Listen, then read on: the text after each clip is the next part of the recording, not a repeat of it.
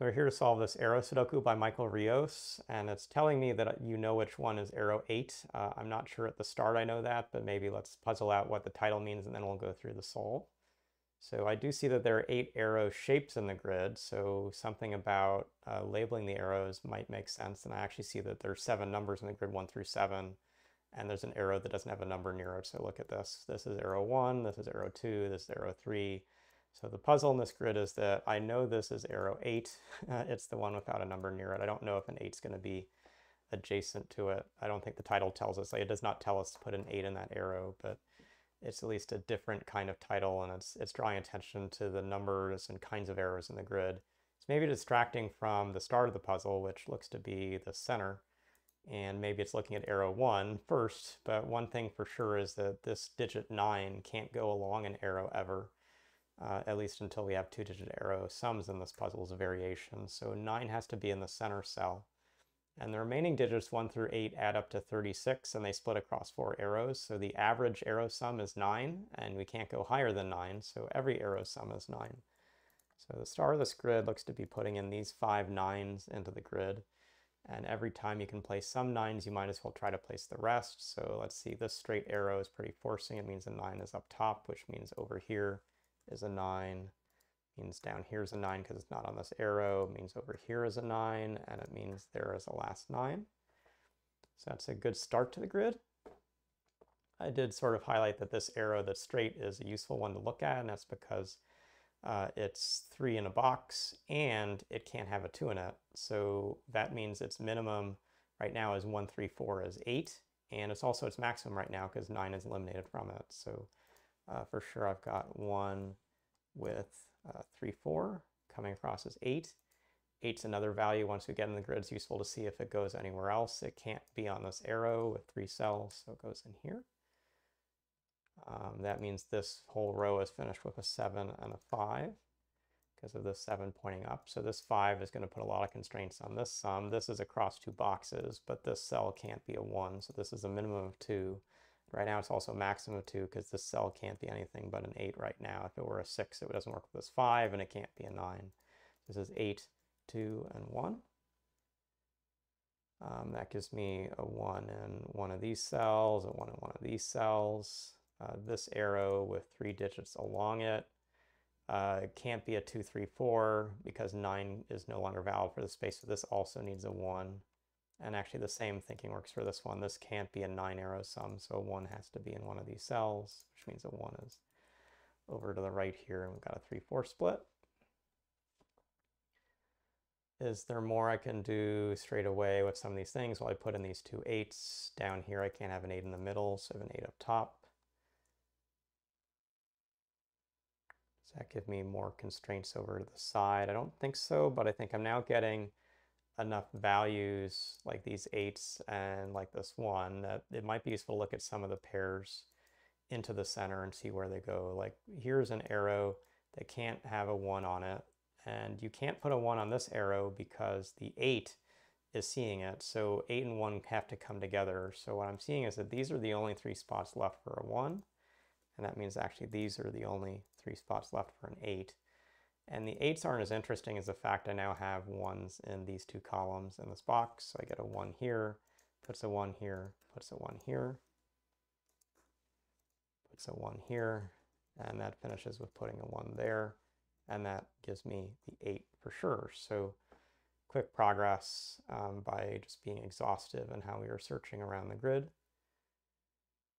That's probably still similar logic that we can do for other digits. And so let's still think like this 7 needs to be over here in this column from stuff I'm seeing. And what makes that interesting is the fact, can a 7 be in the cell? Well, no, it needs to pair with a 2, and a 2 is eliminating the cell. And it can't be in the cell because it's 7 there. So this is the only spot left for a 7. Puts in this 2. Um, 2 is going to be dodging that arrow sum. 7 is alone in the space. so I can mark that. Um, what does that mean? This 3 now has to have a 3 somewhere in this row, and that has a 3 here, and this will be 3 with 6. 6 is up above, so 3, 6 here. Last space for the center will be 5 with 4. Um, that gives me this 5 as last placement there. And the 4 in the top or bottom here. and a 3 in the remaining spot.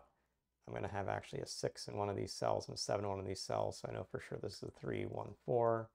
Moving those digits across. Got a 3 in one of these cells, just as some progress.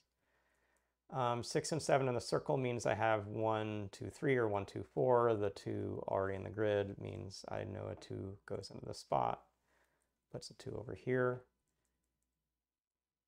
Can I get away with not having a 2 in the space? Well, I could have a 3, 4, and actually looks like this cell has to be a 3, 4. It can't be a 5. Um, so this could be a 3, 4 and give me an 8. So I don't think I know more about this arrow, arrow 8 yet, but what I do see is I've actually put 3, 4, 3, 4 together in the grid. Does that do anything for me? Um, well, it eliminates 3s and 4s from these cells in the center. This row already has 3s and 4s, so it looks like I got a new 3, 4 pair here. Um, that means a 5 completes the space, 6 finishes it out with a 5 and 4. Uh, this whole column is then finished with a 6. I'm going to have a 5 in one of these cells. Do I have more than that? I've got a 2 coming over here. I've got a 4 up top. Uh, didn't mark it, but the 6, 7 pair also puts constraints in a cell like this, where we've got this 3, 4 pair.